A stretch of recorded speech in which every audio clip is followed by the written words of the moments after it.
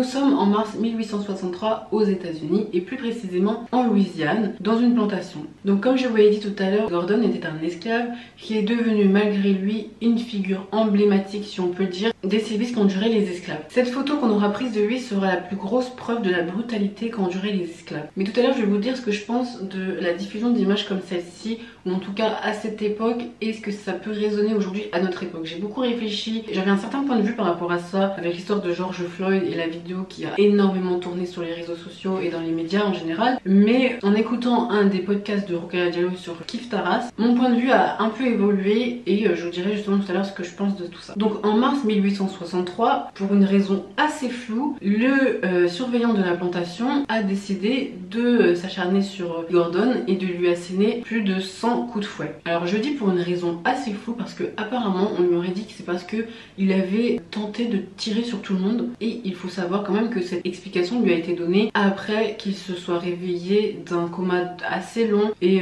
d'une convalescence très très longue qui aura duré deux mois à cause de ses coups de fouet. Et en voyant cette photo, je pense que c'est inimaginable la douleur qu'il a pu endurer. Donc il a été rapporté que après les coups de fouet, le maître de la plantation qui n'était pas là au moment des sévices a euh, tout simplement licencié le surveillant. Mais Gordon à son réveil prendra la décision de s'enfuir de cette plantation. Alors comment la fuite s'est déroulée? Bien évidemment, vous vous doutez bien que quand un esclave s'enfuit, cette décision ne sera pas sans conséquence. Il faut savoir que lorsque les esclaves s'enfuyaient ou qu'ils étaient pris en train de comploter pour s'enfuir, ils étaient soit pourchassés et euh, quand ils étaient retrouvés, ils étaient tués, soit torturés devant tout le monde pour en faire des exemples. Donc c'est assez délicat quand on entend des personnes dire que 400 ans d'esclavage c'est un choix parce que j'aimerais bien les voir justement dans cette situation, à savoir choisir entre euh, ben, survivre et euh, souffrir certes mais en tout cas tu es en vie, ou sinon prendre le risque de t'enfuir et de te faire tuer. Il faut garder quand même à l'esprit que les esclaves fuyants étaient poursuivis, chassés. Les moyens de déplacement qu'on a aujourd'hui ne sont pas du tout les mêmes qu'à l'époque. Donc quand tu es dans un endroit où tu sais à peine où est-ce que tu te situes, pas vraiment dans quelle direction aller, donc c'est assez compliqué de prendre de tels risques. Et au-delà de ça, tu as quand même à tes trousses des personnes qui sont armées, à cheval, avec des chiens, qui eux savent clairement euh, où est-ce que tu peux te cacher. Donc c'est envisageable de réfléchir à deux fois quand même avant de prendre une décision qui pourrait être fatale. Mais Gordon prendra une décision extrêmement intelligente avant de s'enfuir. Il prendra dans sa plantation des oignons. Alors vous allez me dire des oignons pour faire quoi? Bah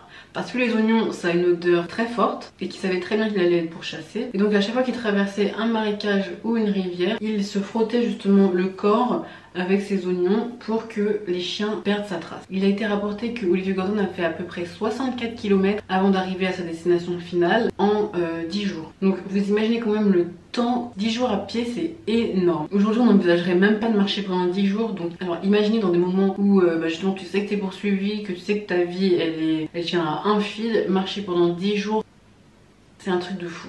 Donc en fait Gordon il n'a pas de marché pendant 10 jours sans savoir où est-ce qu'il voulait aller. Il savait très clairement où est-ce qu'il allait, ou en tout cas il savait très très bien où est-ce qu'il voulait aller et où est-ce que serait sa destination finale. Parce que tout simplement la guerre de sécession avait déjà débuté aux états unis Pour ceux qui ne le savent pas la guerre de sécession c'est la plus grosse guerre civile qui est connue les États-Unis, qui a débuté en 1861 pour finir en 1865. Donc pour faire vite fait, histoire de vous replacer la situation et de vous faire un petit peu un petit cours d'histoire, la guerre de sécession opposait les États-Unis d'Amérique, donc le côté dit l'Union, qui comptait les États abolitionnistes, 5 États esclavagistes et euh, le Parti républicain. Et tout ça, c'était dirigé par Abraham Lincoln. Et du coup, dans le camp opposé, on a les États confédérés d'Amérique dit la Confédération, qui comptait les 11 États du Sud dirigés par Jefferson Davis. Et en fait, c'est pour ça qu'on dit tout le temps que le sud des États-Unis, c'est l'endroit le plus chaud pour les Afro-Américains et le plus chaud où le racisme fait rage. Parce que justement, Abraham Lincoln était contre l'esclavage.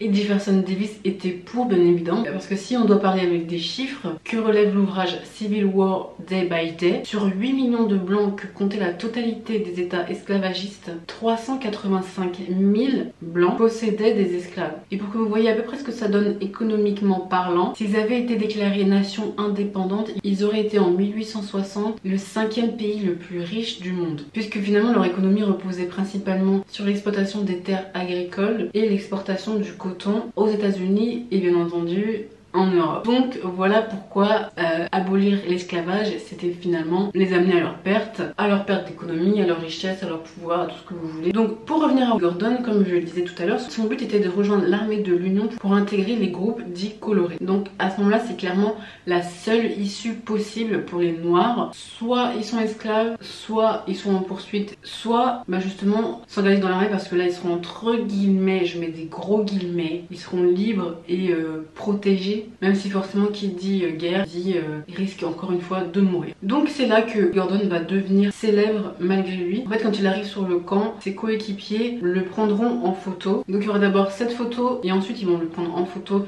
avec son dos dans une position que lui-même a choisie. Hein. Il a été rapporté qu'il était très humble malgré ce qu'il avait vécu. Il n'avait pas forcément de haine, qu'il prenait les choses euh, finalement comme elles étaient. Et en fait cette photo, comme je l'ai dit, ce sera une preuve pour que le monde entier se rende de la gravité de la situation